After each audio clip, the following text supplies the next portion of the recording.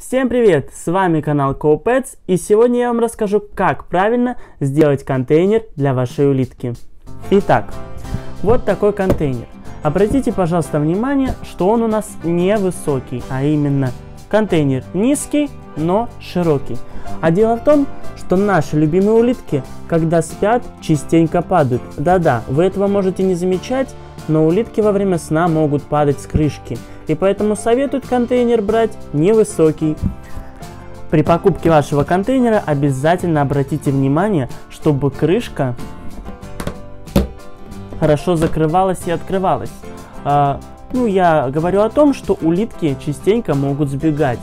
А, поэтому позаботьтесь о том, чтобы они сами не могли оттуда выбраться. Где же купить такой контейнер? Этот контейнер можно приобрести в Ленте, Ашан, ну и другие такие сетевые магазины. В принципе, вы найдете там такие контейнеры. Кстати, обязательно обращайте внимание, чтобы на контейнере а, была наклейка, этикетка а, с бокалом и вилкой.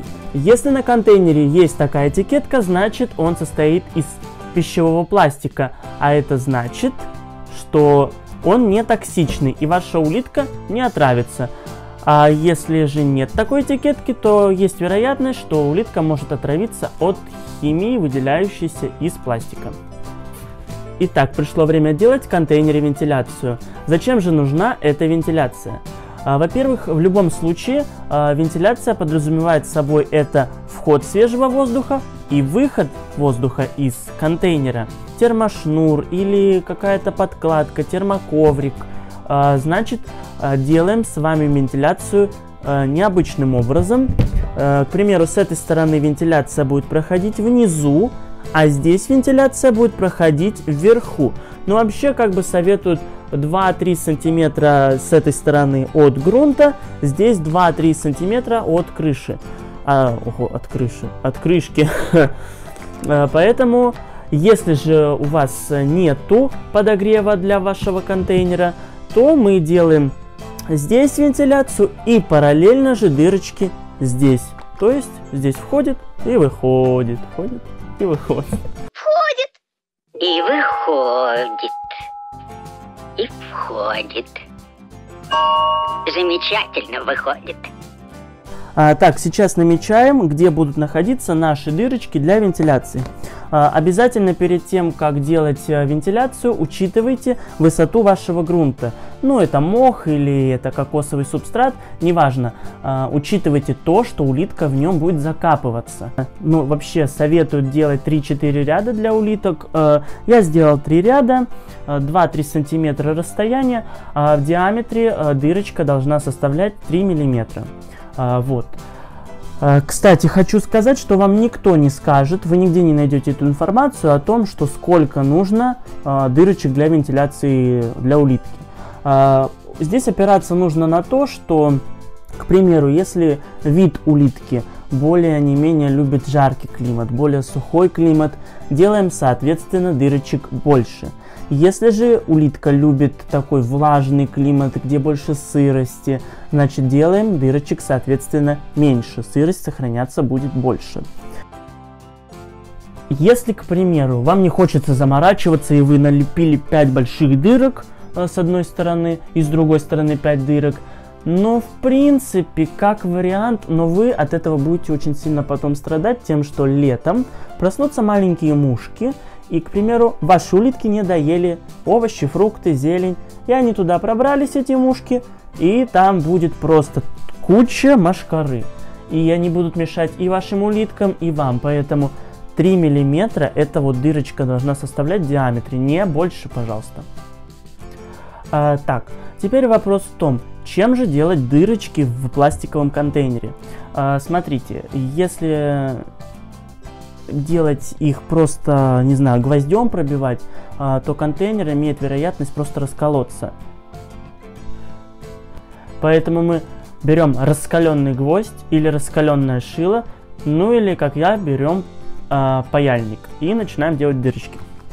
Мой совет, когда вы делаете дырочку, а, получается пластик, он выплавляется, он никуда не девается, он не испаряется. И получается вокруг дырочки получается расплавленный пластик. Ну, я как бы люблю, когда все эстетично, красиво, и я думаю, что улитке будет более комфортно ползать по более, по более аккуратной стеночке, вот, поэтому я рекомендую брать канцелярский ножик и вот этот весь лишний пластик счищать, аккуратненько счищать, вот. Так что вот так. Итак, зачем же нужна вентиляция? Вентиляция это свежий воздух, это просушивание и проветривание грунта, препятствие образования плесени, отсутствие неприятного запаха и вентиляция э, портит жизнь нематодам. Кстати, нематоды это круглые белые черви 5 мм длиной, э, живут они во влажном грунте и растениях. Если говорить вкратце, то нематоды для человека и взрослой улитки не несут опасности, а вот для кладки и маленьких новорожденных улитят они опасны. А, поэтому, кстати, если вы хотите, чтобы я подробнее рассказал о нематодах, пишите в комментариях, и я обязательно сделаю про них дополнительное видео. Для улиток вентиляцию на крышке мы не делаем. Пишите в комментариях, если вы хотите узнать, чем отличается контейнер древесной улитки от обычной улитки, ахатины, и как сделать э, контейнер пригодным для жилья именно древесной улитки. Э, также, если вам интересен такой вопрос, почему именно контейнеры сейчас в моде для улиток, а не террариумы или аквариумы, пишите в комментариях, я сделаю интересное видео, и где расскажу, почему же все-таки контейнер а чем все-таки лучше террариум для улитки? А, именно, в общем, все это подробно разберем и я вам расскажу. Пишите также в комментариях, если вы хотите увидеть, как я наш контейнер буду облагоустраивать дальше и как туда въедут новые жильцы. Пишите обязательно в комментариях, и я сделаю продолжение этого ролика. Ну что, всем пока, до новых встреч. С вами был канал CoPets. Обязательно пишите комментарии, ставьте лайки, э, пишите свои советы, как делаете контейнеры для своих улиток вы. Вот, передавайте привет своим любимцам. До новых встреч. Всем пока.